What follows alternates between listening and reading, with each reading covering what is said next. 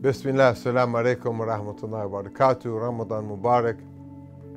It's now or never. Go hard or go home. In our fasting, in our prayer. It's about mid Ramadan now, so the initial excitement, the honeymoon period of the first few days of Ramadan is probably worn off. It's mid game, and now's the time to go hard or go home in everything that we're doing this Ramadan. If we've been lazy so far, that's a decision.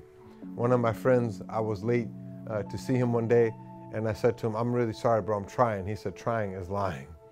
So this is a month of exerting our maximum effort and going beyond just trying and actually leaning in and going hard or going home. Now is the season to give more than you ever give, to pray more than you ever pray. We're obviously fasting, so the beautiful thing is that while we're at work, we're enjoying the blessing of fasting. While we're at school, we're enjoying the reward of fasting. But in everything that we do, and now is the season. May Allah make it easy for us. May Allah subhanahu wa ta'ala facilitate that for us and may He accept from us our fasting.